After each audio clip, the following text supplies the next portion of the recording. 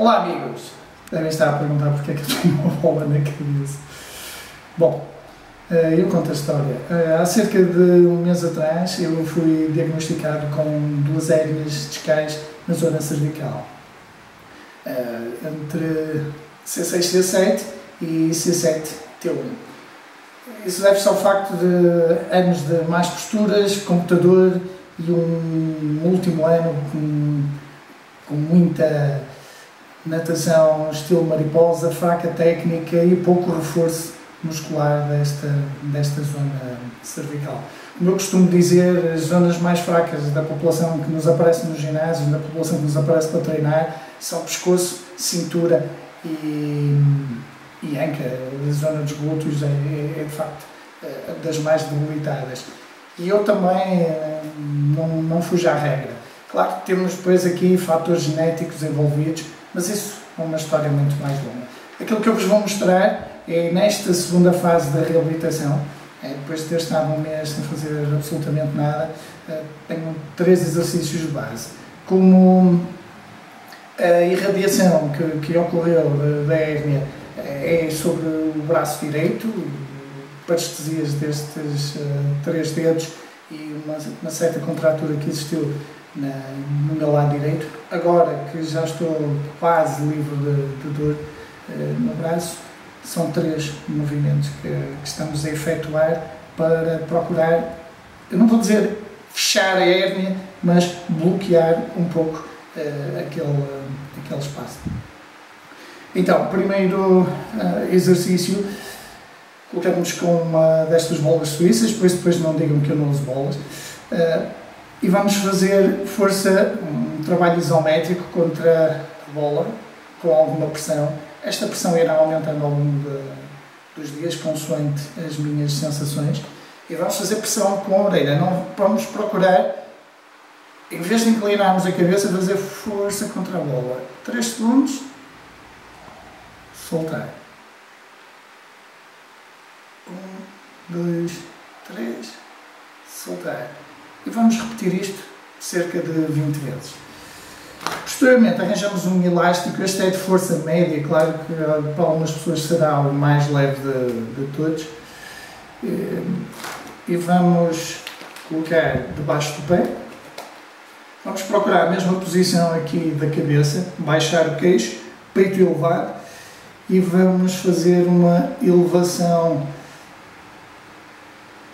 do braço Nunca parece. Reparem que eu estou a procurar que o meu cotovelo fique mais próximo possível do prolongamento do ombro, mas não estou a fazer amplitude total. Se eu vier para a frente, eu trabalho muito mais a parte anterior, mas eu perco esse alinhamento. O importante é que haja a tração da cintura escapular e que eu depois faça um movimento de elevação. Reparem, tudo que é reabilitação é de forma lenta e controlada. Que é pouco estávamos a fazer isometria 3 segundos e agora 1, 2, 3 e descemos. Vamos fazer também cerca de 20 repetições por aqui. Uh, isto vai depender também do nosso grau de fadiga. E o último exercício, agora já não precisamos do elástico, mais simples, peito elevado, queixo mais próximo do peito, e vamos pressionar a bola com a testa. 3 segundos. Soltar.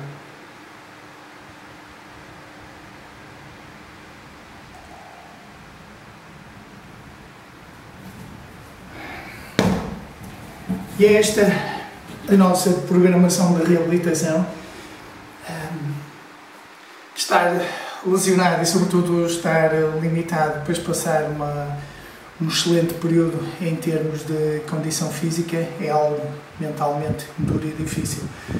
E eu reconheço, até porque já passei por períodos idênticos a estes, eh, a razão pela qual eu estou na musculação foi por ter efetuado uma cirurgia, cirurgia à coluna lombar e agora, quase 30 anos depois, uma situação destas faz-me recordar todo esse período difícil, mas por outro lado faz-nos ir buscar essas energias que nos serviram para ultrapassar essas dificuldades. Vamos buscá-las para vencer mais este desafio. Claro que aqui até há pouco tempo havia imagens de será que eu nunca mais vou fazer uma ups nunca mais vou fazer peso morto com 150, 170 quilos, ou nunca mais vou fazer agachamento ou nadar, coisas de que tanto gostamos.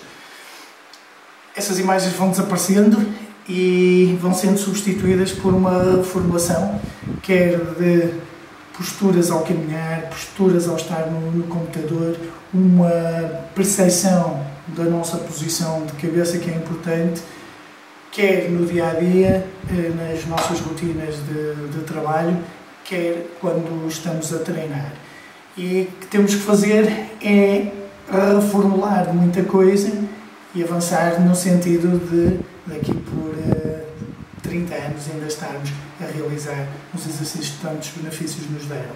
Muitas vezes são exageros, são coisas que não devemos fazer, são horas de sono a menos e então estes momentos às vezes servem para pararmos, reformularmos e toda a aprendizagem que eu estou a ter comigo próprio vou transmitir a vocês para que vos seja úteis, útil, uh, ai, para que vos seja útil como personal trainers ou então para vocês próprios com os vossos pequenos problemas para ultrapassarem essas dificuldades.